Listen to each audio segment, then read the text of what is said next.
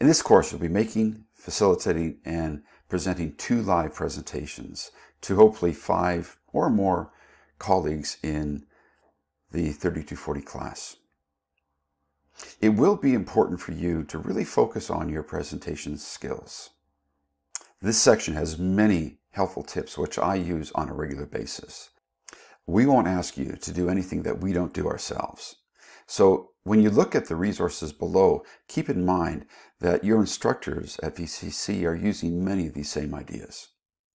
For example, five tips in five minutes is so helpful. The first point alone, not reading from your slides, is perhaps one of the most important things that you can do. I have many presentation books in my library that I keep on going back to on a regular basis. Nancy Duarte's Slideology and Resonate are two of my favorites, but there are other resources that are equally as good that offer a different perspective. Garr Reynolds' Presentation Zen and Naked Presenter are also two wonderful books, and Reynolds has a key idea that will help you to add punch to your presentation. Punch stands for personal, unusual, novel, challenging, and humorous. In essence, bringing your own unique personality into your presentation is an important thing that you can do.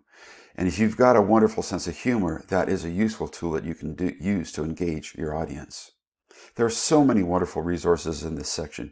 If you only include one or two ideas from many of these resources, your participants in your presentation will thank you.